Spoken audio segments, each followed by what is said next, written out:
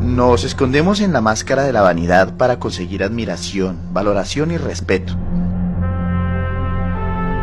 En ocasiones se pagan precios muy altos por ese propio disfraz. Los límites no son físicos, los límites son mentales. En la pregunta es usted si es capaz, usted sí puede, si se siente capacitado. Obviamente, claro, yo lo que necesito es la oportunidad.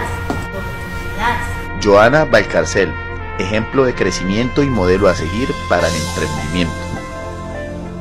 Mi nombre es Joana Elizabeth Valcárcel Vanegas, eh, tengo 32 años, nací en 1987, estudié mi primaria en la escuela Cristo Rey, también en la escuela Policarpa, mi bachillerato lo realicé en el colegio María Inmaculada. Es una hija ejemplar, ¿no? totalmente independiente, todos sus objetivos que ha querido lograrlos los ha conseguido, ¿no? aunque se le han presentado dificultades, pero para ella nada ha sido difícil, ¿sí? porque ella siempre ha tenido esa fortaleza. ¿sí? Y pues aquí en la casa, como nunca la hemos tratado con indiferencia, siempre como una hija normal como todos, ¿sí? Desde niña, pues igualito los labores de la casa eran igualitos para ella, ¿sí? Que si Joana usted le toca hacer el aseo hoy, ella lo hacía. Que si tiene que cocinar, cocina, ¿sí? Y todo pues ella lo ha querido hacer sola. y una de las cosas de mi hija es que ella nunca le ha gustado que le tengan lástima. Yo soy hermana, la hermana mayor de Joana, nos la llevamos bien, como hermanas, como amigas, como compañeras. La condición que ella tiene físicamente no, no es desfavorable. O sea, todo marcha bien, normal. El, problema con, con, la sociedad es el señalar, ¿sí? Su hermana porque es así, su hermana así, su hermana puede esto, su hermana aquello. Es como la curiosidad. Ella es una persona normal, ella se baña, se viste, se peina, se maquilla. Es una, una persona segura de sí misma. Ha pintado, se las la conoce y le su hermana. Sí. Respecto a cualidades de Joana, uno el estudio. ¿sí? Eh, incluso hay una experiencia que en el colegio en el que ella iba a entrar no la querían recibir. ¿sí?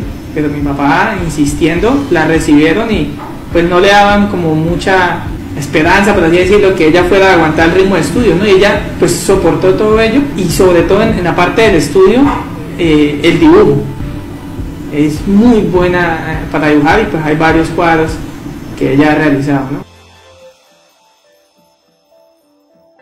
Que son pocas, ¿sí? por ejemplo, cuando estábamos en el colegio ella pintaba de una manera espectacular y uno voy, ay no, ayúdenme, pínteme.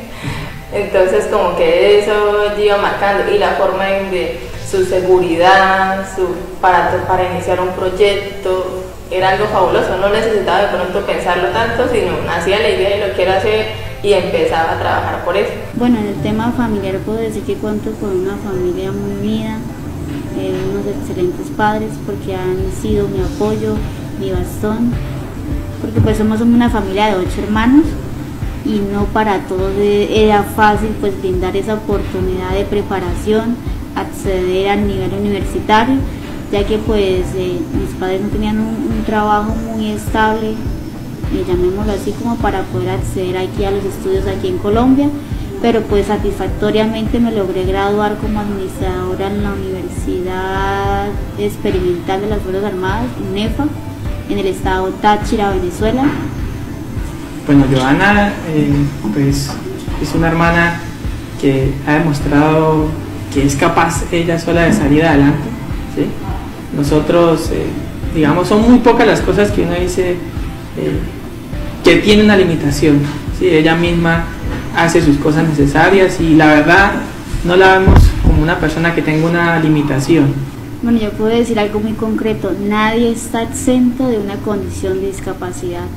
Recordemos que hay varias fases, las personas que nacemos con una condición de discapacidad, otras que la adquieren a raíz de una enfermedad, y lo último aquellas que por circunstancias de algún accidente quedan en esta condición.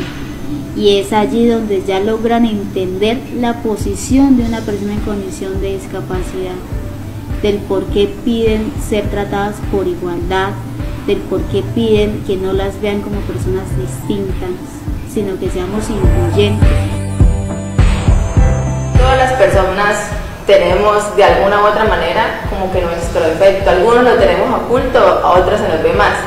Entonces, eh, algunas personas porque eh, lo demuestran o no se les ve, piensan que no tienen algún defecto y se creen perfectas. Perfectas no hay nada, perfecto es solo Dios y, y si no aceptamos a una persona que Dios nos puso, entonces de pronto no nos estamos aceptando nosotros mismos con esas, con esas expresiones de no aceptar a otra persona.